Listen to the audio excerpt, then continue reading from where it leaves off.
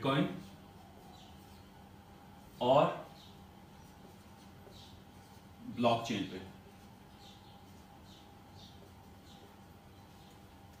अब प्रॉब्लम क्या है कि गवर्नमेंट के रेगुलेशंस और बहुत सारे इदारों की बातचीत जिसकी वजह से उनको शायद लगता है कि पता नहीं बिटकॉइन क्या चीज़ है और बिटकॉइन ना ना ना, ये बड़े ख़तरनाक चीज़ है, इसको हाथ में लगाना।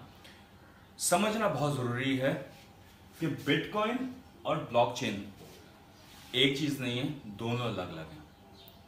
बिटकॉइन एक कॉइन है, जो आपके पैसे को एक जगह से दूसरी जगह लेके जाता है। लेकिन ब्लॉकचेन वो टेक्नोलॉजी है, जिस टेक्नोलॉजी की वजह से सब कुछ होता है। आप पैसे की मूवमेंट को डिस्कस नहीं करते हम, वो क्या है, या वो कैसे मूव होता है। लेकिन ब्लॉकचेन को डिस्कस करने से कोई रोक नहीं सकता, ये नई टेक्नोलॉजी है। ब्लॉकचेन को समझने से कोई नहीं रोक सकता और इसको देखने से कोई रोक नहीं सकता। ये इन्फॉर्मेशन है ये नॉलेज है ये एजुकेशन है।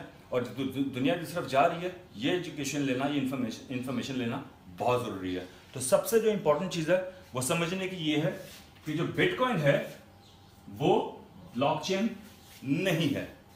बिटकॉइन को आप ब्लॉकचेन नहीं कह सकते। ये ऐसे बात होगी जिस तरह से एक गाड़ी है और उसके अंदर एक इंजन है और दुनिया में बहुत सारी कंपनीज़ हैं। बहुत सारी गाड़ियाँ सबके अंदर इंजन तो है। उस इंजन की जो परफॉर्मेंस है, जिस तरीके से वर्किंग करती है, उस वर्किंग की वजह से उसको हम गाड़ी कहते हैं, उसको हम जहाज़ नहीं कह लेते उसको हम बैरी जहाज़ नहीं कह लेते उसकी एक साख्त उसकी एक शक्ल है, जिसकी वजह से उसको हम गाड़ी कहते हैं। उसी लिहाज से इंजन कोई भी हो सकता है, गाड़ियाँ अलग अलग बन सकती हैं कंपनियों की। सो ब्लॉकचेन बेसिकली एक टेक्नोलॉजी है, जिसको यूज़ करके बिटकॉइन एक जगह से दूसरी जगह पे पैसे को लेके जाता है। अब समझना ज़रूरी है कि ब्लॉकचेन कर क्या रहा है। ब्लॉकचेन बेसिकली जो एक आइडिया था, उसको हम कह सकते हैं, उसने एक दुनिया को नया रास्ता दिखाया। किस चीज़ का? वो है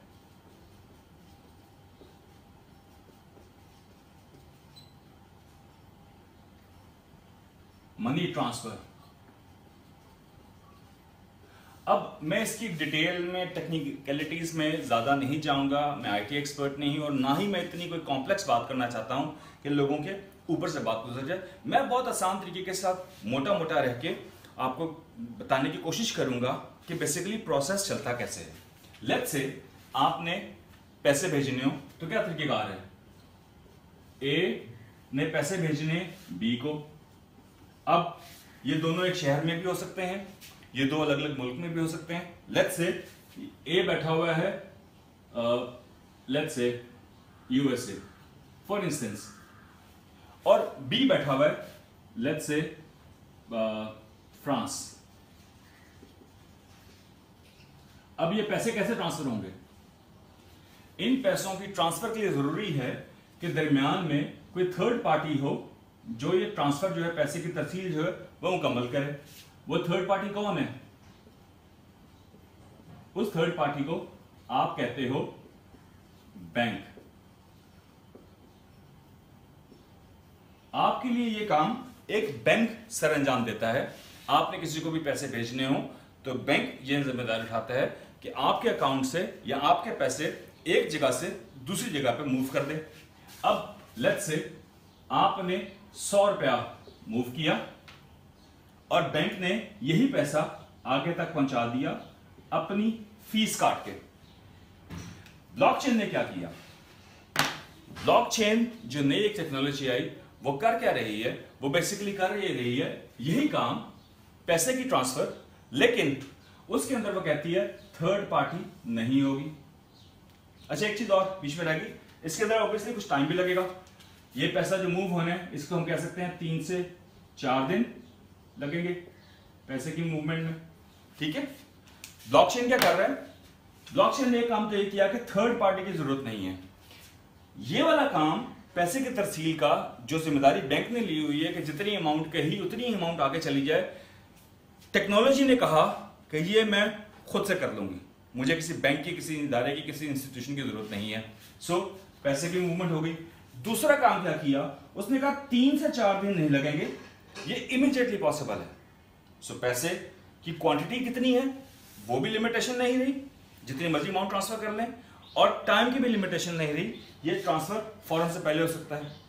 तीसरा काम ब्लॉकचेन ने क्या किया कि जो चार्जेस बैंक जितने काट रहे हैं उससे भी सस्ते के अंदर ये पैसा ट्रांसफ़र हो जाए।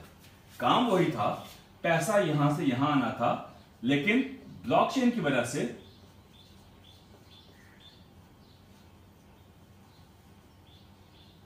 ब्लॉकचेन की वजह से जो काम तीन से चार दिन लेता था, एक खास कॉस्ट लगती थी उसके ऊपर चार्जेस की मद में, ब्लॉकचेन ने वही काम सस्ता कर दिया और जल्दी कर दिया।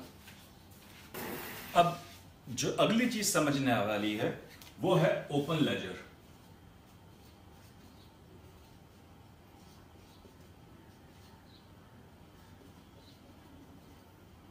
ओपन लेजर आप ये समझिए जिस तरह हर कारोबार के अंदर एक हिसाब का खाता होता है, वैसे ये हिसाब का खाता है। अब हमने बात कर ली ब्लॉकचेन एक टेक्नोलॉजी है। हर किसी की अपनी एक टेक्नोलॉजी हो सकती है। तो अभी हम मिसाल के तौर पे जो बीटीसी की टेक्नोलॉजी है, समझिए ये उसका खाता है ओपन लेजर है। अब इसके अंदर क्या है? लेट्स से चार लोग हैं, चार पार्टीज़ हैं ए बी सी और डी ये चार लोग हैं जो इस नेटवर्क का हिस्सा है और पैसा मूव है। खाता नया शुरू हुआ और नया जब शुरू हुआ तो हम ज्यूम कर लेते हैं, मिसाल के तौर के ऊपर जब खाता शुरू हुआ तो ए के पास let say one thousand rupees थे। खाते की ये पहली एंट्री हो गई। अब ए ने पैसा जो है, वो बी को देना है। तो ए ने पाँच सौ रुपया बी को दिया। जब पैसे की यहाँ से मूवमेंट होनी है तो एक खाते के अंदर एक एंट्री और आएगी। वो एंट्री क्या है कि ए से बी के पास गया 500 और ये भी एक ब्लॉक बन गया। वो ब्लॉक्स क्या है? वो टेक्निकलिटी हो जाएगी लेकिन आप खाली इसको एंट्री समझते रहे कि एक एंट्री और होगी। अब ये एंट्री पहले वाली एंट्री के साथ लिंक हो जाएगी। अब बी ने सी को पैसे भेजने। बी के पास जो 500 आया, उस 500 में से बी ने सी को 300 भेज दिया।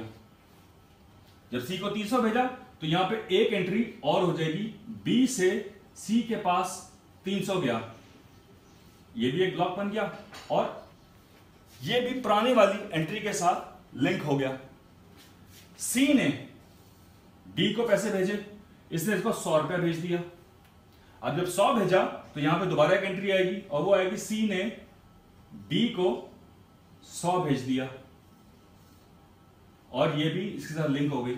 अब अगर हम देखें इसको तो बेसिकली एक एंट्री के बाद जो बाकी एंट्रीज आ रही हैं, वो सब एक दूसरे के साथ लिंक होती जा रही हैं। खाते का यही होता है ना कि जो जो लोग कारोबार करते हैं, जो बिज़नेस करते हैं, उनको आइडिया होगा इस बात का कि जो आपका खाता होता है या जो हिसाब की किताब होती है, उसका पेजेस फाड़ते हैं, उसकी नंबरिंग होती है। गलती हो जाए, कुछ भी हो जाए पेज फटेगा नहीं, आप उसकी जेबी काटते हैं या उसकी एंट्री आप रिवर्स एंट्री करते हैं, आप एंट्रियाँ खराब नहीं करते। उसी लिहाज से ये जब लिंक होगी आपस में, ये चेंज नहीं हो सकती। ये ऐसी की ऐसी रहेंगी। अब ओपन लेजर ने क्या, खूबसूरती क्या की कि इस नेटवर्क के अंदर जितने लोग हैं, उनको हर वक्त पता होगा, क्योंकि ये ओपन लेजर है, कि किसके पास कितने कितने पैसे हैं। और पैसा कैसे कैसे मूव हुआ। और जो ये कड़ी बन गई, इस कड़ी का नाम है चेन इसलिए कहते हैं कि ब्लॉक तो हो गया जो ब्लॉक है, ये बेसिकली इंफॉर्मेशन है।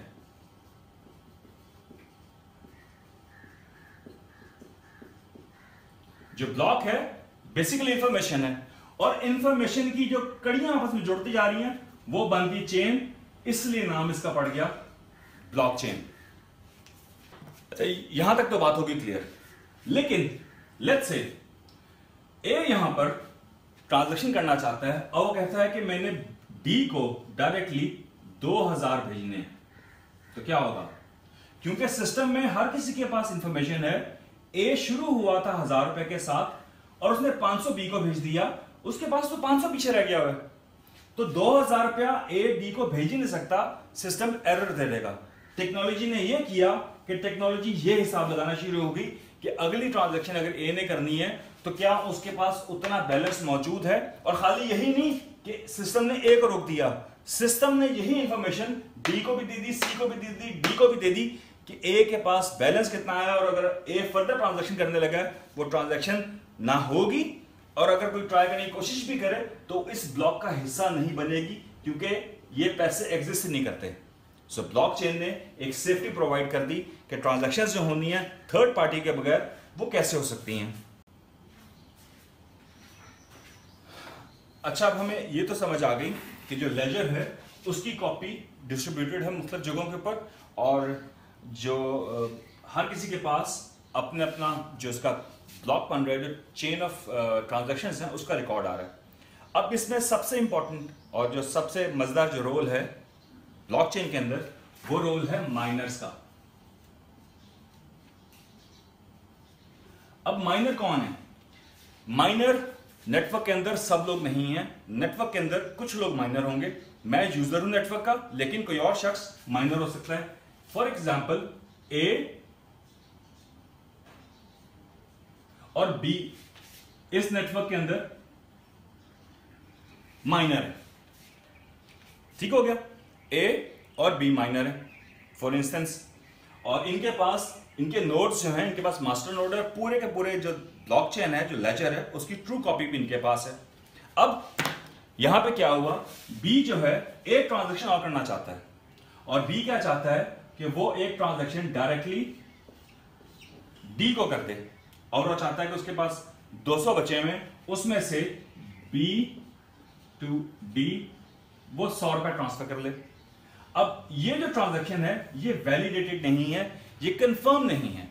ये उसने ट्रांजेक्शन जनरेट किया है। और जनरेट जो की है, क्योंकि अभी तक इसकी कंफर्मेशन नहीं हुई वेरिफिकेशन नहीं हुई कि बी के पास पैसे प्रॉपर हैं कि नहीं है तो इसको ये भी ब्लॉक में लगेगी नहीं। बी का ब्लॉक यहाँ लगना है। अब यहाँ पे क्या होगा? यहाँ पे जो माइनर्स हैं, उनका रोल शुरू हो जाता है। माइनर क्या करेंगे? माइनर कोई भी हो सकते हैं, जैसे हमने आपको बताया कि सिस्टम के अंदर दो माइनर हैं। यहाँ चले, हम इसको बी को नहीं कहते। हम कहते हैं बी की जगह पे लेट से लेट से बी माइनर नहीं है। हमने सी को कह दिया माइनर क्योंकि ट्रांजेक्शन बी से शुरू हो रही है सो मैं बी को इन्वॉल्व नहीं करता। मैं कहता हूँ लेट से सी जो है इसके अंदर, वो माइनर है। अब, जैसे ही ट्रांजेक्शन शुरू हुई, जितने माइनर्स हैं, उनका क्या काम है, उनका क्या रोल है, इस ट्रांजेक्शन को वेरीफाई करना, और आपस में कंपीट करेंगे। जो इस ट्रांजेक्शन को पहले वेरीफाई कर लेगा, उसको रिवॉर्ड के अंदर कुछ पैसे मिलेंगे। और जो पैसे मिल रहे हैं, वो बिटकॉइन की शक्ल में मिल रहे हैं, क्योंकि ब्लॉकचेन बिटकॉइन का जैसे ही वो इसको ट्रांजैक्शन को वैलिडेट कर लेंगे, ये ट्रांजैक्शन बी के लेजर में, उसी चेन की तरह से, जैसा से पहली बार ट्रांजैक्शन जुड़ी हुई है, उसी तरीके के साथ ये ट्रांजैक्शन लेजर के अंदर शो हो जाएगी। अब मैंने आपको बता अब मैंने आपको बता दिया कि ट्रांजैक्शन को माइनर ने वैलिडेट करना है। अब हमने एक चीज़ तो समझ ली कि लेजर जो है वो ओपन लेजर हो गया। और ओपन लेजर को मैंने आपको बताया था कि हर किसी के पास ट्रू कॉपी होनी चाहिए। अब ट्रू कॉपी होने के लिए क्या होगा? लेजर को सिंक्रोनाइज भी होना है। सिंक्रोनाइज होने के लिए क्या है कि माइनर ने पहला काम तो क्या करना है? उसमें ट्रांजैक्शन को वैलिडेट करना है क्या बी के पास वाकई पैसे हैं। दूसरा काम उसने क्या करना है? दूसरा काम उसने ये करना है कि उसने की ढूंढनी है। वो की जो इस ट्रांजैक्शन के लिए एट रैंडम होती है और जो माइनर है, उसके लिए उसको ज़रूरत पड़ेगी कंप्यूटेशनल पावर यूज़ करने की। इंटरनेट और अपनी जो मशीन है, उसकी पावर यूज़ करने के लिए बार बार बार बार वो ट्राई करेगा। समझिए बार बार वो पासवर्ड डालेगा। अब उसको पासवर्ड नहीं पता सो पासवर्ड रैंडम होगा। तो वो अपनी मशीन के ज़रिए कंप्यूटर के ज़रिए मुख्तलिफ़ पासवर्ड बार बार बार बार बार बार ट्राई करेगा। ता वक्त उसको एक्चुअल पासवर्ड मिल जाए जो इस जगह पर आके इस ट्रांजैक्शन को लगा सके। अब नेटवर्क के अंदर जो भी ये की पहले ढूंढ लेगा, वो ही ट्रांजैक्शन को लॉक कर पाएगा और जब लॉक कर पाएगा, वो ही पैसा उठाएगा अब हो सकता है एक ट्रांजैक्शन किसी ने की, दूसरी ट्रांजैक्शन किसी ने की हर ट्रांजैक्शन की की अलग अलग है, जिसकी वजह से ये लेजर सिक्योर से सिक्योर से सिक्योर होता रहता है। अच्छा इस सिचुएशन के अंदर जो सी है, उसने जो ट्रांजैक्शन है, उसकी की ढूंढ ली और की जब उसने ढूंढ ली तो वो ये की जो है, ये पब्लिकली हर किसी को बता देगा कि इस ट्रांजैक्शन की की ये वाली थी, ये मैंने फाइंड कर ली और इस की के ज़रिए वो इस लेजर को यहाँ पे पब्लिश कर देगा। अब जब पब्लिश कर देगा तो जो ए है, वो भी एक मास्टर नोट होल्डर है और ये भी माइनर है। ये क्या करेगा? अब उसने जब देखा कि इसकी की पब्लिश हो गई है तो उसका मतलब है कि इसके अगेंस्ट जो पैसे मिलने थे, वो कोई ना कोई माइनर ले गया है। अब इस सॉल्व हुई पजल को दोबारा सॉल्व करने की ज़रूरत नहीं है, क्योंकि यहाँ तो पैसे मिलने नहीं है उसको। वो क्या करेगा? इस की को उठाएगा और अपने ब्लॉक के अंदर एंट्री कर देगा। बी से डी हंड्रेड चले गए। और अब वो नई ट्रांजेक्शन को ढूंढना शुरू कर देगा, जिसका कंपीट करके वो अपने लिए पैसे कमा सके। मैंने अब आपको जो इस वीडियो में बताया, उसको कोशिश करूँगा समराइज करके हम आगे चल सकें। तो समरी क्या होगी?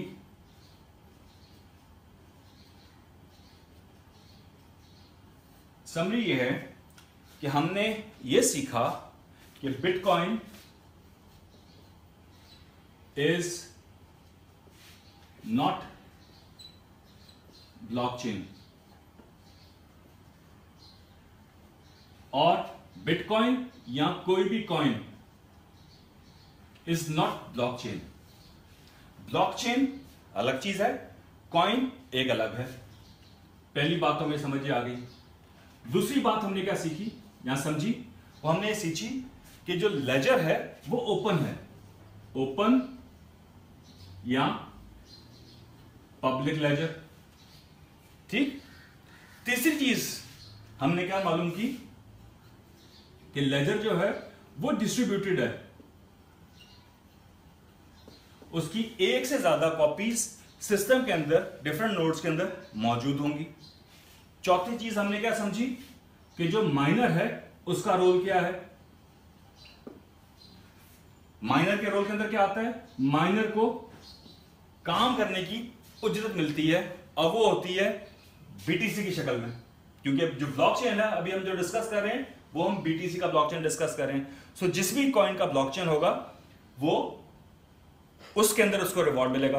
अब जिस तरह से हम बात करते हैं इथेरियम के जो ब्लॉकचेन है उसके ऊपर बहुत सारे कॉइन बेस करते हैं। तो जब उनकी माइनिंग होती है तो माइनर को इथेरियम में रिवॉर्ड मिल रहा है। ब्लॉकचेन के बीटीसी के ब्लॉकचेन के ऊपर बेस जितने कॉइन्स हैं जब उनकी माइनिंग होती है तो माइनर का रिवॉर्ड ब्लॉकचेन में मिलता है। माइनर क्या करता है? ट्रांजेक्शन को वैलिडेट करता है। ठीक? और इस सारे काम के लिए वो अपनी कंप्यूटेशन पावर लगाता है। वो इंटरनेट और अपने कंप्यूटर की मशीन की पावर लगाता है। और इस पावर को लगाने के बाद, उस मेहनत के बाद, वो एक की ढूंढता है। और वो की जो होती है, वो आखिरी कड़ी होती है सिलसिले के अंदर। जो ट्रांजैक्शन हैं, उनको एक के बाद एक आपस में जोड़ने के लिए जिसकी बात जो ब्लॉकचेन है, उसको हम कह सकते हैं कि इनकी वजह से, इन लड़ियों की वजह से कीज की वजह से जो सिस्टम है, वो ब्लॉकचेन बन गया। ये बहुत सिंपल सी बहुत आसान करके, बड़ी कोशिश करके बहुत सिंपल लैंग्वेज यूज़ करके समझाने की कोशिश की है कि आपको बेसिक्स समझ आ जाए कि ब्लॉकचेन है क्या। अब इसको हम आगे लगे चल के देखते हैं और देखते हैं बाकी कॉइन्स और बाकी जो काम है, उनके अंदर यही टेक्नोलॉजी यही तरीकेकार जो है उसके साथ हमारा फ्यूचर या हमारा मुस्तकबिल या हम अपने लिए क्या कर सकते हैं? आ, मैंने आपसे बहुत दफ़ा कहा कि मैं वीडियो इसलिए नहीं बनाऊँगा कि आप वो सुनना चाहते हैं जिससे आपका दिल खुश हो। मैं वीडियो वो बनाऊँगा जिससे आपकी नॉलेज में इजाफा हो जो मैंने सीखा जो मैंने समझा और मुझे ये लगा कि ये बातें आपसे शेयर करना इसलिए ज़रूरी है क्योंकि जब हम इस हिस्से में, इस इस इंडस्ट्री में या इस गेम का हिस्सा बन गए हैं तो इसके बारे में इंफॉर्मेशन नॉलेज और इसकी डिटेल्स हमें मालूम हो। अगर मालूम होंगी तो ही हमें फ़ायदा होगा, वरना हम यहाँ पर आके अपना सिर्फ़ टाइम ज़ाय करते रहेंगे। अब एक बात तो हमें पता चल गई कि किसी भी कॉइन की ट्रांजैक्शंस के लिए, किसी भी कॉइन को ब्लॉकचेन को यूज़ करने के लिए और उसके अंदर जो भी काम होना है, उसके लिए माइनर की ज़रूरत है। और जो माइनर है, वो फ़ी चार्ज करता है। अब जो फ़ीस है, वो बेसिकली लिंक्ड है, एक चीज़ और के साथ, वो क्या है? डिमांड। उस ब्लॉकचेन की, उस कॉइन की डिमांड कितनी है? वो डिमांड ट्रांसलेट करेगी, यू समझ लीजिए, उसके ऊपर ऑन कितना होगा? बेसिक कॉस्ट आ गई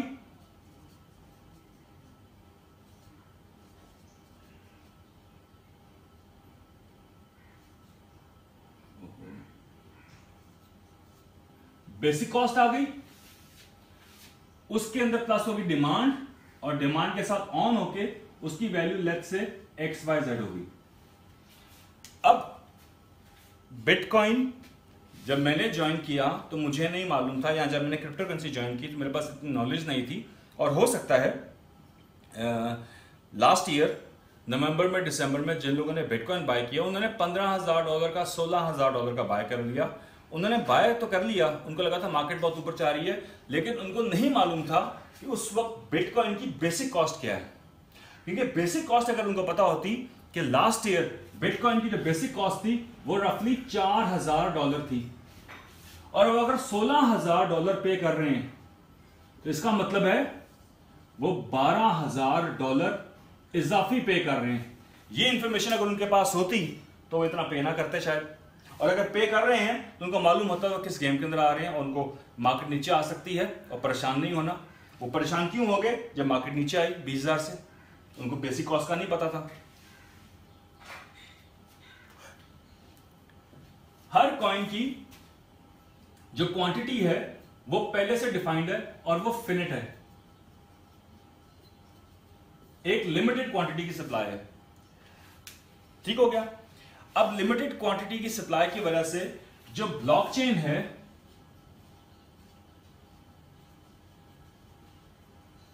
उसके अंदर डिफिकल्टी लेवल है।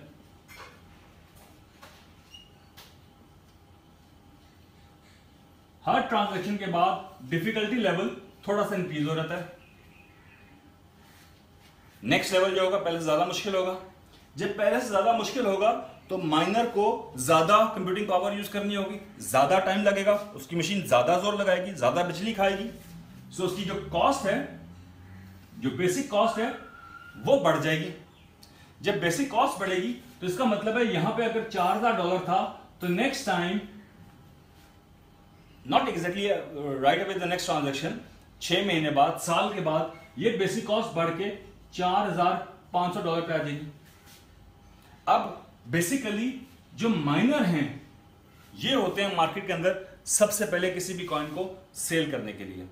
अब अगर कॉस्ट उसकी साढ़े चार हज़ार डॉलर आ रही है, या चार हज़ार डॉलर है, या आज के टाइम के ऊपर, आज जून सॉरी जुलाई 2018 में बिटकॉइन की जो माइनिंग कॉस्ट है दैट इज़ अराउंड छह हज़ार डॉलर यही वजह है कि बिट मार्केट क्रैश करती है, नीचे आती है बिटकॉइन 6000 डॉलर के सतह को टच करता है मार्केट दोबारा से वापस ऊपर चले आती है। Miner refuse to sell bitcoin below this cost उसका पैसा लगा हुआ है। डिमांड अभी ज़्यादा नहीं है, डर है फियर है फड है, जिसकी वजह से जो ऑन है, वो अभी मार्केट के अंदर बहुत ज़्यादा क्रिएट नहीं हो रहा। जिसकी वजह से मार्केट अपनी असल जगह पे खड़ी हुई है। ठीक हो गया? माइनिंग होती जा रही है ट्रांजेक्शन होती जा रही है कॉस्ट बढ़ती जा रही है। अगले साल यही कॉस्ट छह हज़ार डॉलर से बढ़ के एक्सपेक्टेड है, जितनी चीज़ें की कॉस्ट डिफिकल्टी लेवल जितनी नई मशीन अब चाहिए इसकी माइनिंग के लिए एक्सपेक्ट किया जा रहा है, इसकी वैल्यू दस हज़ार डॉलर पर चली जाएगी। अब anyone holds bitcoin today he should be rest assured कि मार्केट ऊपर ना भी अगर जाए तो भी अगले साल उसका जो छह हज़ार डॉलर है, वो दस हज़ार डॉलर बन जाना है। ये बेसिक एक प्रिंसिपल है क्रिप्टोकरेंसी का। जिसको समझना बहुत ज़रूरी है और यही रूल लागू होता है हर कॉइन के ऊपर। इससे आगे चलते हैं। अब मार्केट के अंदर जो कॉइन है, अब मैं वो बात करने लगा हूँ जो मेरे बहुत सारे व्यूअर्स को बात पसंद नहीं आएगी। लेकिन, क्योंकि जैसा मैंने पहले कहा था कि मैं बात वो करूँगा जो हकीकत में मबनी है, आपका दिल खुश करने के लिए नहीं। मार्केट में इस वक्त दो किस्म के कॉइन है। एक है चूरन और एक है रियल प्रोजेक्ट रियल प्रोजेक्ट क्या है? जब रियल प्रोजेक्ट मार्केट में आता है, उसको हम कहते हैं आईसीओ वो बेसिकली अपने लिए फंड्स इकट्ठा करने आते हैं, या अपना पैसा, या प्राइवेट सेल के ज़रिए कुछ पैसा इकट्ठा करके एक आइडिया होता है व्हाइट पेपर होता है खाली, या कुछ डेवलप करने के बाद वो कहते हैं कि हमारी इतनी कॉस्ट आ गई और हमें आइडिया सेल करना है तो पब्लिक उसको बाय कर ले। और पब्लिक जब उसको बाय करती है, वो अपने आप वैल्यू देते हैं कि मेरा coin X Y Z value का है। लेट्स से इन्होंने कहा कि जी, मेरा जो कॉइन है, उसकी वैल्यू है पॉइंट ज़ीरो थ्री डॉलर आपने ये वैल्यू एसेस करनी होती है, उसके वाइट पेपर टीम और बाकी सारे लवाजमात जो मैं बहुत सारी दफ़ा बता चुका हूँ कि क्या ये वैल्यू जस्टिफाइड है? ओके ये वैल्यू जस्टिफाइड है। क्या इसका फ्यूचर है? अगर इसका फ्यूचर है तो उसका मतलब है कि इसकी माइनिंग और होगी। इसकी माइनिंग और होगी तो इसकी ये प्राइस बढ़ेगी। प्राइस अगर इसकी बढ़ेगी, इसकी फ्यूचर अगर है, इसकी, इसका मतलब इसकी डिमांड होगी। इसकी डिमांड अगर होगी तो इसका मतलब है इसके अंदर ऑन जो टर्म मैंने इस्तेमाल किया ऑन इसके अंदर ऐड हो जाएगा। वो ऑन कितना हो सकता है? वो आइडिया नहीं है, वो एज्यूम कर सकते हैं हम। सो इन सबको मिला के हम कहते हैं कि यार, दो साल के बाद जो ये प्राइस थी, ये price let say point zero three से लेके तीन डॉलर तक आ जाए। अब आईसीओ फेस के अंदर अगर आपने सौ डॉलर लगाया हो और आपने दो साल वेट किया हो तो आप ग्रोथ देख लें, आपके सौ डॉलर की कितनी हुई? कैलकुलेटर निकाल लें और उसको हम चेक कर लेते हैं।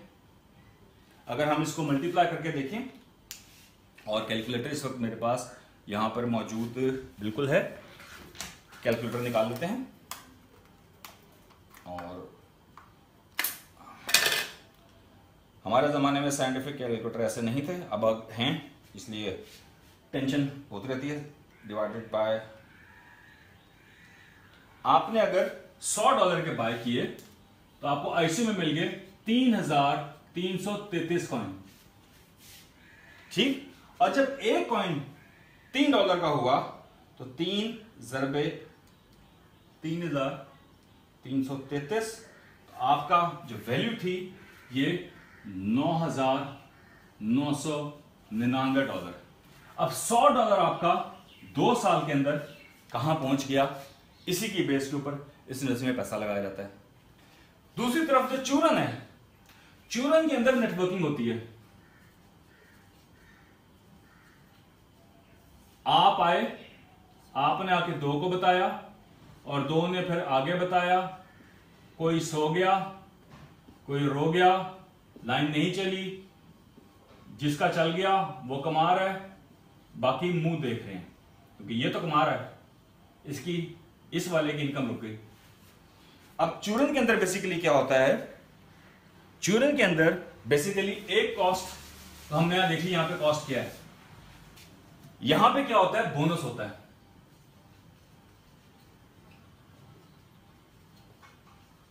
कंपनी ने बोनस देना है। अब बोनस देने के लिए उसकी असल वैल्यू तो लेट से ये वाली थी। लेकिन उसने बोनस देना लोगों को। काम करे मेरे लिए। और चूरन अच्छा होना चाहिए। लोगों को पसंद आना चाहिए।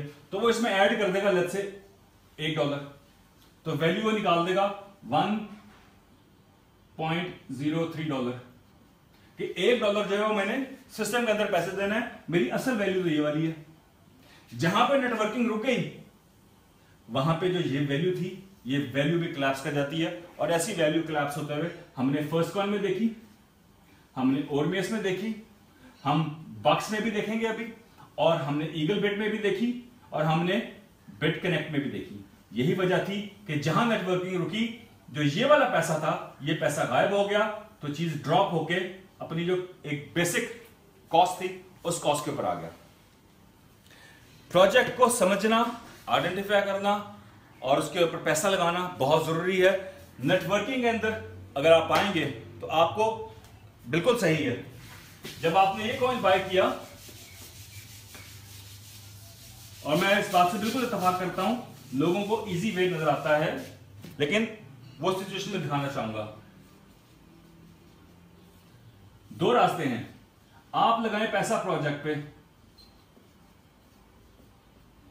और इसको आप मेच्योर होने दें। इसको अगर आप मेच्योर होने देंगे तो ये आपका एसेट है। जो मैंने आपको एसेट पहले बताया था कि लेट से सौ डॉलर से शुरू होके नौ हज़ार नौ सौ निन्यानवे डॉलर तक हो गया। अब ये जो कट्ठा आपको पास जो एसेट आया, इस एसेट के साथ आप कोई कारोबार कर सकते हैं, कोई चीज़ ले सकते हैं, कुछ भी कर सकते हैं। अब इसको चाहें तो यहाँ पे मे भी इसको रिटर्न 300 मिल रहा हो, आप यहाँ पे बेच के फारिग हो जाए। मे भी यहाँ पे आपको इसका हज़ार मिल रहा हो, आप यहाँ बेच के फारिग हो जाए। मे भी इसका यहाँ पे आपको 2000 मिले, आप कहेंगे बस यही काफ़ी है, मैं यहाँ पे फारिग हो जाऊँ। लेकिन जो प्रोजेक्ट को समझने के बाद उसके साथ इंटरेस्ट रहते हैं, उसको देखते रहते हैं, उनको पता है कि गेम कहाँ जा रही है। और वो उसको, तभी इसको हम यूज़ करते हैं वर्ड होल्डल होल्ड करना है। यहाँ पे क्या होता है? यहाँ पे आपने पैसा लगाया और साथ ही अच्छा यहाँ पे अब आपको इनकम नहीं आ रही है। आपका असासा बन रहा है। आपने जो पैसा लगाया था your money is changing into an asset यहाँ पे क्या हो रहा है? यहाँ पे भी आपने पैसा लगाया और पैसा लगा के आपको एक चूरन मिला। याद रखिएगा चूरन की अपनी असासे की वैल्यू बहुत थोड़ी है, उसकी कॉस्ट की निस्बत। नेटवर्क चलना शुरू हुआ, आपको फॉरन से पहले इनकम तो कुछ आना शुरू हो गई। और अगर नेटवर्क बड़ा होना शुरू हुआ तो आपकी कुछ इनकम भी बढ़ जाएगी। लेकिन जहाँ पर आके लेट से किसी भी स्टेज पे आके, आपका ये नेटवर्क अगर क्लैप्स कर जाता है, आपके दो नुकसान तो होंगे। ये यहाँ पे आके क्लैप्स कर गया, आपकी इनकम तो बंद हुई लेकिन इन दी एंड आपका जो एसेट था उसकी वैल्यू भी ज़ीरो है। कि उसके उसके अपने पल्ले कुछ नहीं था। सो so, में जब आप जाएँ तो ये दिमाग में रखिएगा बात कि वक्ती तौर पर तो शायद आप कुछ पे कमा लें। अगर तो आपने कुछ जोड़ लिया टका के कमा लिया जो लोग सौ सौ लोगों के साथ इकट्ठा ज्वाइन होते हैं वो तो फ़ौरन से पहले भी कुछ कमा लेते हैं। लेकिन जो सिंगली आते हैं, उनको लगता है सिस्टम बहुत कमाल है। मैं इसमें छा जाऊँगा। वो छा नहीं जाते। वो सिर्फ़ तरह से रह जाते हैं। उनका बनता कुछ नहीं है। क्योंकि जब कुछ बनने लगता है, उस वक्त तक सिस्टम जो है वो डाउन कर रहता है। क्योंकि ऐसे नेटवर्क्स की, ऐसे सिस्टम्स की जो उम्र है, वो आठ माह से लेकर डेढ़ साल तक है। तो डेढ़ साल के अरसे के बाद कोई नई चीज़ मार्केट में आ जाती है और यहाँ से ही लोग निकल के जो है, किसी और तरफ़ चले जाते हैं और आपका जो नेटवर्क है, वो पूरा डिस्टर्ब होकर सत्यानाश हो जाता है, आपका सिस्टम कलेप्स कर जाता है इनकम आपकी बंद हो जाती है और आपके पास एसेट नाम की कोई चीज़ नहीं होती। पैसा आपने लगाया था, दोनों तरफ़ से बराबर लगाया था। इससे आपने कुछ लत से कमा भी लिया, लत से आपने यहाँ पे पाँच हज़ार डॉलर कमा भी लिया। लेकिन ये पाँच हज़ार आपका कमाया गया और खाया गया, ये इस्तेमाल हो गया। यहाँ पे जो आपने पैसा लगाया, ये पैसा असासा बन गया।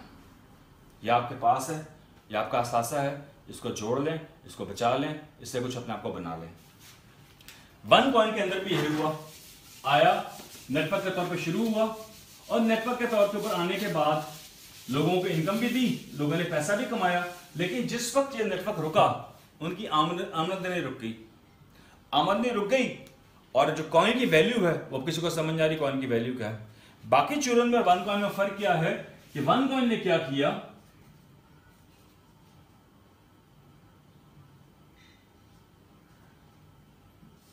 वन कॉइन ने अपना आपको डाइवर्सिफाई किया एक्सचेंज बना ली अपनी एक, और एक अपना प्लेटफॉर्म बना लिया।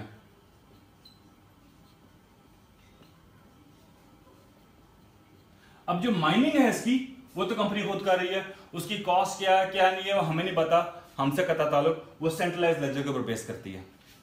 कंपनी यहाँ से कोशिश कर रही है कि इसकी वैल्यू को मेंटेन किया जाए, इसकी डिमांड क्रिएट की जाए। और डिमांड क्रिएट होकर के जो लोगों ने पैसे लगाए हैं, वो पैसे उनके एसेट में कन्वर्ट हो जाएँ। अब वो कब होते हैं, कितने हिस्से में होते हैं, वो हमें वक्त बताएगा। मार्केट की जो पोजीशन इस वक्त है, अगर किसी भी कॉइन को आप उठा के देख लें लेट्स से लाइट कॉइन को देख लें मनेरो को देख लें इथीरियम को देख लें, जो प्रोजेक्ट ऑलरेडी स्टैब्लिश हुए हैं, वो शुरू कहाँ पे हुए थे? उनकी आप स्टार्ट की वैल्यू को देख लें और उन्होंने मार्केट के अंदर बहुत सारे ऊपर नीचे देखने के बाद आज किस जगह पर हैं, उनकी आप यहाँ की प्राइस चेक कर लें इनिशियल प्राइस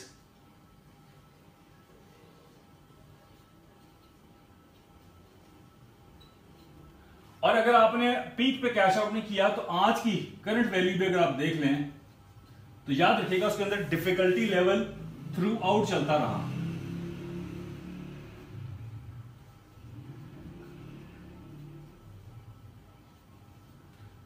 ये कंटिन्यूस है, ये कांस्टेंट फैक्टर है, जो डिमांड है, वो वेरिएबल है। डिमांड कभी ऊपर, कभी नीचे की वजह से प्राइस अपनी बेसिक प्राइस से ऊपर नीचे होती रही।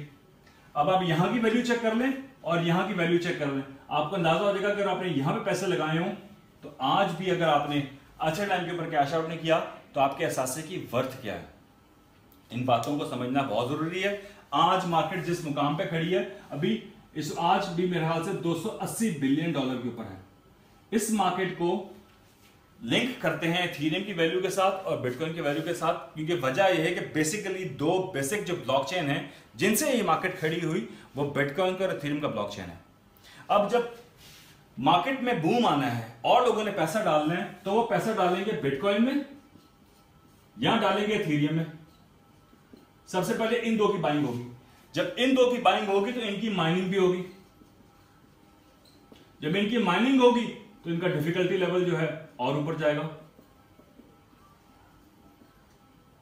जब डिफिकल्टी लेवल और जाए और ऊपर जाएगा तो इसके अंदर डिमांड भी क्रिएट होगी। जब डिमांड क्रिएट होगी तो इसके अंदर ऑन आ जाएगा। जब ऑन आ जाएगा तो जो वैल्यू आज मार्केट की 280 बिलियन डॉलर पे है, और बिटकॉइन अगर आज 7000 डॉलर पे है तो बिटकॉइन जो है यही इन्हीं बेसिस की वजह के ऊपर कह रहे हैं कि दिसंबर तक जो बिटकॉइन है, वो कम से कम बीस हज़ार डॉलर को दोबारा टच करेगा। अब आपने चूरन लिया हुआ है। आप चूरन के मेच्योर होने का इंतज़ार करते रहें और ख्वाब देखें और दुआ करें और ख्वाहिश रखें कि ये चूरन जो है असासा बन जाएगा। या चॉइस आपके पास आज है। आज अपना रास्ता आप ठीक कर लें। जो चूरन में पैसे लगा दिए अल्लाह बेहतर करे, वो जब बेहतर हो जाए हो जाए। लेकिन जो मौका आपके पास आज आया हुआ है बिटकॉइन और बाकी कॉइन अपनी बेसिक वैल्यू से बहुत थोड़ा सा ऊपर इस वक्त गए हैं। कोई खास ऊपर नहीं है। आज सारे के सारे कॉइन जो हैं, अपनी बेसिक जो उसकी वैल्यू है, जो माइनिंग कॉस्ट है, उसके ऊपर बैठे हुए हैं। मार्केट इस वक्त जो है, वो इस वक्त फ्लोट कर रही है बेसिक वैल्यू पे। जब हम बात करते हैं बुल रन की तो बात हम यही करते हैं कि ये वैल्यू अपनी बेसिक वैल्यू से निकल के इसके अंदर ऑन आएगा और ऑन आने के बाद जो यहाँ वैल्यू निकलनी है, ये वैल्यू आपके छोटी सी इन्वेस्टमेंट को असासे में तब्दील कर देगी। अब आपकी मर्ज़ी है, आप इस वैल्यू के ऊपर उठा लें, सही प्रोजेक्ट को, आँखें बंद करके नहीं, किसी भी प्रोजेक्ट को, किसी भी चूरन को नहीं स्टडी करके, तहकीक करके, देख के अच्छे प्रोजेक्ट कौन से हैं उसमें अगर आप पैसा लगा दें तो मार्केट जो बाईस से खड़े होने वाली है और बुल रन की शक्ल में उसने सब लोगों को एक स्पाइक देनी है, जो वैल्यू है जिस तरह से लास्ट ईयर जनवरी में अगर आप देखें किसी भी कॉइन को, उसका चार्ट यूँ छान मार के ऊपर गया हुआ था, वही मौका दोबारा आना है। आपने अगर इसका हिस्सा बनना है, आज आपके पास अगर कुछ होगा तो ही ये वाले मज़े आप ले सकेंगे। अगर आप यहाँ पे खाली हाथ से हैं तो यहाँ पर भी आप खाली हाथ होंगे और आप सिर्फ़ लोगों को देखते रहेंगे। और आप ये कहते रहेंगे कि हाँ मुझे किसी ने कहा था हाँ मेरे पास इंफॉर्मेशन थी, मेरे पास नहीं थे, मैं डर गया था, मुझे पहले लॉस हुआ हुआ था, मैं नहीं लगा पाया, मैं ये कर लेता, मैं वो कर लेता। आई होप ये छोटी सी वीडियो जो मैंने बनाई है, इससे कुछ चीज़ें क्लियर हो गई होंगी, कुछ आपको समझ आ गई होंगी। टेक्निकल चीज़ें थी, मुझे नहीं समझ आ रही थी, उनको मैं कैसे लेके चलूँ और किस तरीके से आपको एक्सप्लेन करूँ। कोशिश मैंने की है, बात अगर आपको समझ आ गई हो दोस्त फैसला आपने करना है पैसा आपका है लाइफ आपकी है। आ, एक दफ़ा लगा के नुकसान अगर हो गया तो डजन मीन कि इंसान दोबारा लगाए। हाँ एक चीज़ है जो मैंने आपको इंफॉर्मेशन दी आपको होगा कि मुझे इंफॉर्मेशन देने की ज़रूरत क्या है या मैं बार बार आके वीडियो बना के क्यों आप लोगों को कहता हूँ कि ना तो मुझे बोनस आ रहा है ना मुझे कमीशन आ रहा है मुझे फिर इसकी ज़रूरत क्या है? सर, मेरे अपने पैसे किसी दोस्त ने एक अच्छा सा खूबसूरत सा ख्वाब दिखा के चूरन बना के लगवा दिए सो मेरे लग गए मैं भी आपके साथ उसी जगह पे खड़ा था। लेकिन वहाँ से जब मैंने इंडस्ट्री को पढ़ना शुरू किया स्टडी करना शुरू किया, मुझे बात समझ आई तो मैंने अपना रास्ता तब्दील कर दिया। उस रास्ते को तब्दील करने के बाद आज मैंने यहाँ की फ़िक्र करना छोड़ दी है, जो होगा देखा जाएगा। मैं यहाँ पे जो बुल रन है, उसकी तैयारी में हूँ और उसके लिए मेरा सफ़र जारी है। जो ये वाली स्पाइक आनी है, जो ये वाली ग्रोथ आनी है, मैंने इस ग्रोथ में से अपने लिए फ़ायदा उठाना है। आप अगर उठा लेंगे तो आपका फ़ायदा, अगर नहीं उठाएँगे तो आपकी बचत, मर्ज़ी आपकी है। किसी को कोई फोर्स नहीं कर सकता, किसी को कोई गाइड नहीं कर सकता। एक छोटा सा पैगाम था, जो कर रहा हूँ एग्जैक्टली exactly आप लोगों को बता रहा हूँ। अच्छे प्रोजेक्ट को चुनिए समझिए, पढ़िए, लेट ना करें। ये बुल रन किसी भी वक्त एक्सपेक्टेड है। पिछले तीन दिन के अंदर रफली कोई बीस टू टू फोर्टी के करीब टू फोर्टी पचास बिलियन डॉलर के करीब ऐड हुआ मार्केट के अंदर। फिफ्टी बिलियन डॉलर कुछ दिनों के अंदर ऐड हुआ है मार्केट के अंदर। ये निशानी इस बात की है, चीज़ें आहिस्ता आहिस्ता ठीक हो रही हैं। वो चीज़ें कौन कौन सी हैं जिनके बारे में बहुत दफ़ा मैं ज़िक्र कर चुका हूँ, बहुत दफ़ा बता चुका हूँ। मौका हाथ से गवा दिया तो आप पछताते रहेंगे क्योंकि दोबारा कोई भी कॉइन अपनी बेसिक प्राइस पे नहीं आएगा। जो अच्छा कॉइन है, वो दोबारा बेसिक प्राइस पे बहुत मुश्किल आए। अगर आ भी गया तो लेट से आज अगर किसी कॉइन की, ये उसकी लग से अगर चल रहा है, और यहाँ पर हम कहते हैं उसकी बेसिक प्राइस है। और ये टाइम है जुलाई 2018 तो सर, यकीन मानिए, जुलाई 2019 में बेसिक प्राइस यहाँ पे नहीं होगी बेसिक प्राइस इस जगह पे होगी। तो दोबारा आपको इस प्राइस पे कॉइन नहीं मिलेगा, जिस प्राइस पे आपको आज मिल रहा है। मार्केट अगर दोबारा डिप में भी आ जाए और सारे कॉइन अगर गिर भी जाएँ तो सारे कॉइन अपनी नई बेसिक वैल्यू पे आए होंगे, इस वैल्यू पे कभी भी नहीं आएँगे। ये बात अगर आपको समझ आ जाए तो यकीन मानिए, आप में से कोई दोस्त भी अपने पैसों को रोक के नहीं बैठेगा, वो अपने पैसों को इस इंडस्ट्री में डालेगा और क्यों डालेगा? वो अगली चीज़ देख लेते हैं।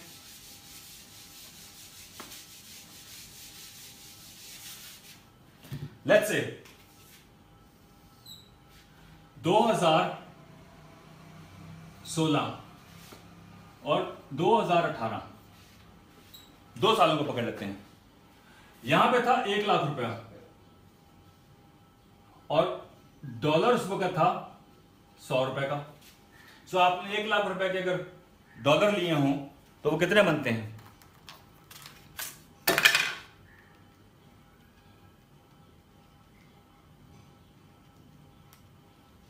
एक हज़ार डॉलर आपकी कुत खरीद थी, एक हज़ार डॉलर की। इसी के लिहाज से मार्केट के अंदर फ्यूल की कॉस्ट पे थी। इसी लिहाज से इलेक्ट्रिसिटी की कॉस्ट पे थी। इसी लिहाज से आपका कार मार्केट में जो है, उसकी कीमत है। इसी लिहाज से बाइक की प्राइस भी है। इसी लिहाज से आपके ज़िंदगी के जो भी अखराज आते हैं, वो इसी जगह से लिंक्ड हैं, जो वैल्यू आपके रुपए की है। आपने लेट से 2016 में अच्छा प्रोजेक्ट देख के अपने पैसे फिएट में कन्वर्ट कर दिए। ठीक हो गया? लेट से आपने फिएट में लेट से बीटीसी ही ले लिया होता। तो 2016 में जब बिटकॉइन था, वो रफली हज़ार डॉलर का था। डिफिकल्टी लेवल मार्केट की मार सबके बावजूद, आज बिटकॉइन सात हज़ार डॉलर का है। आज 2018 में जो पाँच रुपीज़ है, अगर आपका आप संभाल के आपने रखा होता बैंक में ही तो आज यूएसडी जो है, वो 130 का हो गया। 130 का होने का मतलब ये है आपकी जो कुत खरीद है, वो सात सौ बानवे डॉलर की हो गई है। वही पैसा अगर आपने बैंक में पड़ा रहने दें तो कम हो जाएगा। उसी पैसे को अगर आपने किसी सही जगह लगा दिया होता तो आज वो कितना इंक्रीज हो गया होता, ये फ़र्क अगर आप समझ लें तो आपको पता चल जाएगा कि क्रिप्टो करेंसी का फ़ायदा क्या है।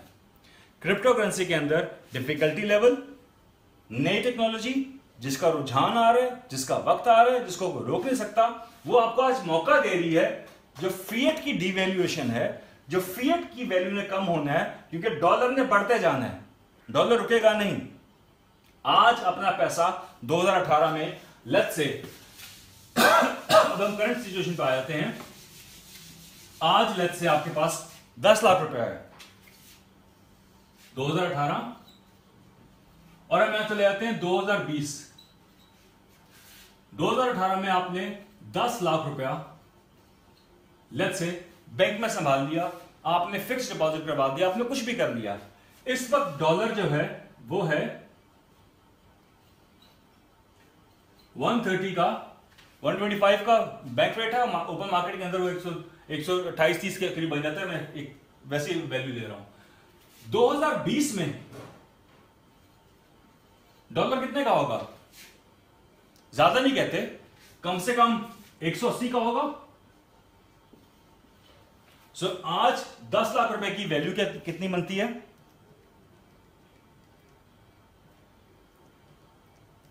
आपकी कुल तकरीर है seven six nine two dollar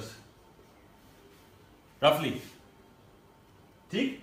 ये मैं क्रिप्टो करेंसी की वैल्यू नहीं बता रहा मैं एक फियट करेंसी की वैल्यू बता रहा हूँ। सो so, कंफ्यूज ना कीजिएगा इसको। और 2020 में डॉलर को अगर आप कन्वर्ट करेंगे फियट में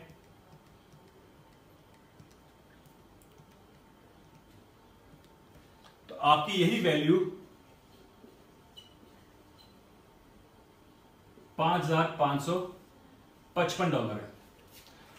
अगर तो आपने डॉलर में कन्वर्ट कर दिया तो आपकी बचत है कि आपके पैसे वैल्यू के साथ बढ़ते रहेंगे। अगर आपने पाक रुपीज़ में रखे, अपने लोकल करेंसी में रखे रखा तो उसकी तो जो वैल्यू है, वो कम हो जानी है। वो कितना डॉलर 2000 डॉलर का लॉस आपको रफली हो रहा है। 2000 डॉलर आज के लास्ट में देख लें कितना लॉस है। इसी पैसे को अगर आप यहाँ पे ले गए, किसी भी कॉइन में, जो अच्छा है, उसके अंदर क्या है? उसके अंदर डिफिकल्टी लेवल है। उस प्रोजेक्ट का फ्यूचर है। उसकी डिमांड जनरेट होनी है। जिनकी वजह से उसका ऑन बनना है। और उस ऑन की वजह से जो पैसे आपने यहाँ पर लगाए होंगे, वो एक एसेट की शक्ल में बन सकते हैं। तो टाइम नहीं देखना, कितना टाइम असासे एक दिन में, एक हफ़्ते में, एक माह में, एक साल में नहीं बनते। असासा बनाने के लिए टाइम लगता है और असासा बनाने के लिए इनिशियली पैसे लगाने पड़ते हैं। अब आपने लत से कहा जी, मैंने एक लाख रुपया लगा दिया हुआ बस काफ़ी है। सर, एक लाख रुपया बनाया, लगाया दो साल में लेट से ये एक लाख रुपया दस लाख में कन्वर्ट हो गया। लेकिन दो साल के अंदर हर चीज़ की वैल्यू भी बढ़ जाएगी। तो क्या दस लाख रुपया काफ़ी है जरूरतों को पूरा करने के लिए? नहीं। अब आप कहेंगे मेरे पास और नहीं है। सर, हर हफ़्ते, हर महीने अगर आप कुछ ना कुछ कुछ ना कुछ कुछ ना कुछ कंट्रीब्यूट करते रहेंगे तो दो साल तक हो सकता है दस लाख, ये तो बन गया, लेकिन जो बाकी डले में हैं उनकी वजह से भी कोई पाँच, छह लाख रुपया और ऐड हो जाए। बीच में, मे भी कोई एक ऐसा आ जाए, जिसको ऐसा बड़ा जैक लगे कि यही पैसा आपका पचास लाख बन जाए। अब वो कौन सा हो सकता है? वो प्रोडिक्ट नहीं किया जा सकता, वो बताया नहीं जा सकता, वो पहले से उसका ज़िक्र नहीं हो सकता। बात सिर्फ़ कितनी सी है कि आप जब सफ़र पर चल पड़े तो पर चलते जाइए, रुके नहीं। किस वक्त जैकपॉट आपके हाथ में लग जाए? किस वक्त किस्मत आपका दरवाज़ा के खटका दे? आपको मालूम नहीं, लेकिन पॉसिबल तभी है जब आप इस रास्ते पे हैं। अगर आप लाइन के इस तरफ़ हैं तो फिर तो आप भूल ही जाइए कुछ आपका होना है। और यहाँ पर भी आके अगर आप यहाँ पर रुक गए तो फिर ज़्यादा कोई उम्मीद ना करें। फिर टाइम बढ़ाते रहें और इस ये उम्मीद रखें कि इसका नया कंपटीशन कोई नहीं आ रहा। सर, देखिए, आप एक गाड़ी अगर खरीद लेना तो अगर आप कहें कि मैंने गाड़ी खरीद ली है, दस साल तक ये रखूँगा तो दस साल बाद उस गाड़ी की वैल्यू नहीं रहेगी। एक खास टाइम तक उसकी वैल्यू है, उसके बाद उसकी वैल्यू कम होना शुरू हो जाती है। उसी लिहाज से हर प्रोजेक्ट की एक लाइफ होगी और हर प्रोजेक्ट को एक टाइम के बाद डिस्पोज ऑफ़ करके किसी और जगह पे पैसे को डाल के अपने पैसों को मल्टीप्लाई करना होगा। ये चीज़ समझनी होगी। ये इतने आसानी के साथ एक वीडियो में मैं ना समअप कर सकता हूँ, ना समझा सकता हूँ। लेकिन मकसद आज क्या था कि बहुत सारे दोस्तों का क्वेश्चन था, ये बेसिकली सारी चीज़ है क्या? इसको हम समझे कैसे? आई होप मेरी इस वीडियो से आपको कुछ बात समझ आ गई होगी। वीडियो अगर अच्छी लगे सर लाइक कीजिएगा सब्सक्राइब कीजिएगा, दोस्तों के साथ शेयर कीजिएगा। नॉलेज है इंफॉर्मेशन है खाली अपने तक नहीं रखिए लोगों को बताने से लोगों का भला होगा लोगों का फ़ायदा होगा। गवर्नमेंट्स डिसीज़न ले रही हैं अल्टीमेटली हमारी गवर्नमेंट भी डिसीज़न ले लेगी।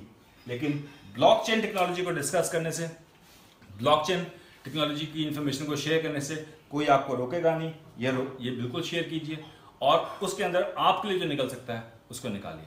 आई होप इतनी सी बात के साथ मैं दोबारा से एक दफ़ा डिस्क्लेमर दे दूँ। मैं फाइनेंशियल एक्सपर्ट नहीं हूँ। मैंने जितनी बातें की हैं, वो अपनी उस नॉलेज की बिना पे की हैं, जो थोड़ी सी मैंने हासिल कर ली, थोड़ी सी सीख ली, उसमें कोई गलती हो गई हो, कोई कमी रह गई हो तो मैं माजर चाहता हूँ, मैं टेक्निकल एक्सपर्ट नहीं हूँ। कोशिश नेक नियति के साथ यही थी कि कुछ चीज़ें इन टोटलिटी एक अच्छे तरीके के साथ आपके सामने लेके आऊँ, ताकि आपको एग्जैक्टली exactly पता चल सके कि आपने करना क्या है। Until next time thank you very much अल्लाह हाफिज़।